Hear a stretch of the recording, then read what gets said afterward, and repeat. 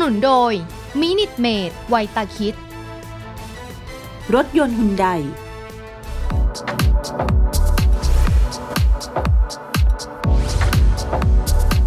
มาถึงรายงานพิเศษที่จะพาท่านผู้ชมไปดูนะครับว่าคำว่า QR code ไม่ใช่มีแค่เฉพาะคนซื้อของกับร้านรวงเล็ก ๆ SME แม้แต่ห้างที่เป็นซูเปอร์มาร์เก็ตขนาดใหญ่ ตอนนี้ก็ใช้ QR code และเป็นแห่งแรกในไทยแล้ว ติดตามกันเลยครับ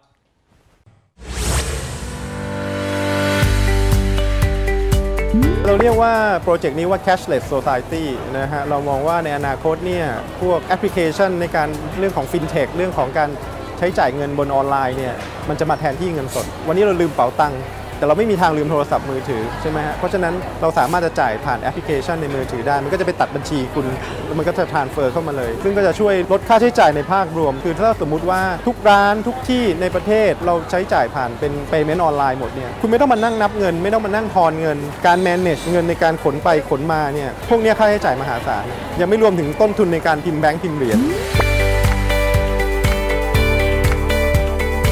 ตอนนี้ในขั้นต้นเนี่ยที่เราติดตั้งเสร็จในเดือนนี้ก็คือที่สาขาใหญ่ของ The Mall นะฮะ Emporium Paragon EmQuartier เนี่ยไปลองใช้ได้แล้ว แล้วก็ภายในเดือนมกราปีหน้าเนี่ยก็จะเสร็จทุกสาขาฮะเราเราติดตั้งตัวรับแอปพลิเคชันนี่เป็นพันๆจุดเลยอีกหน่อยมาฟู้ดคอร์ t ในเครือเดอะมอลล์นี่คุณก็ไม่ต้องพกตังค์มาแล้วมีแอปมาก็มาปิดจ่ายที่เคาน์เตอร์เลย ผมคาดหวังว่าไอการที่เราจะต้องมา manage เงินที่เป็นเหรียญเป็นแบงค์เนี่ยมันก็จะลดลง นะฮะมันก็จะป้องกันเรื่องของความปลอดภัยการทุจริตการคอร์รัปชันอะไรมันทำให้ลดพวกนี้ไปได้เยอะ เราทำโปรเจกต์นี้ในแง่ของการอำนวยความสะดวกให้ลูกค้ามากกว่านะเพราะว่า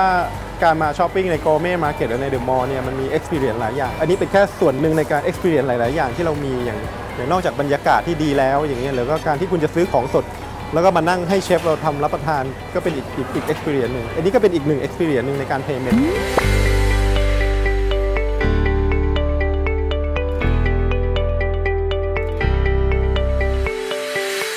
ดูเหมือนจะเป็นจริงไปทุกขณะแล้วนะครับ ต่อไปนี้เดินเข้าซูเปอร์มาร์เก็ตหรือ convenience store เนี่ย มีแต่ของกับคนซื้อไม่มีคนขาย โลกนี้คือเทคโนโลยีจริง ๆ นะครับ และทั้งหมดนี่คือ B Times ในวันนี้ครับ พรุ่งนี้จะเจอกันใหม่นะฮะ 11 โมง 5 นาทีกับผมบัญชาชุนชัยเวทวันนี้ลาไปก่อน สวัสดีครับ